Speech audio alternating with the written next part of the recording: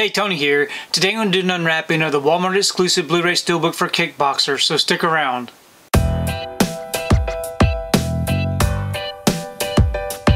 So today I wanted to take time to do an unwrapping of the Walmart exclusive Blu-ray Steelbook for Kickboxer.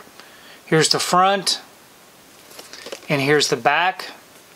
If you'd like to read up on it, you can go ahead and pause and do so. I'm going to go ahead and remove this from the wrapper and we can take a close look at this still steelbook. Okay, I've got the wrapper off and the J card removed. Here's the front of the still steelbook. It is a lightly glossed still steelbook. No embossing or debossing. Great looking image there. And then here's the back. We open it up. We have our front and back together. Nice little continuation. On the inside it does come with a digital code. And we have our one disc with some disc art. And we do have some inside artwork, which looks to be the theatrical poster.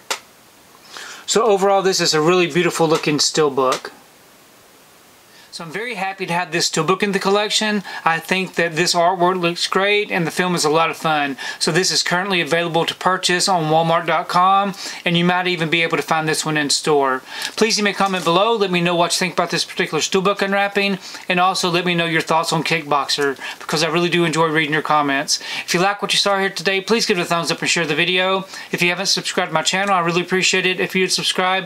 If you do subscribe, please remember to hit that notification bell so that you can be notified notified every time I upload a new video. If you haven't found me on my social media accounts, I'm on Instagram, TikTok, and on X. And if you'd like to find out what I've been watching, you can find me over on Letterboxd. I do have links below.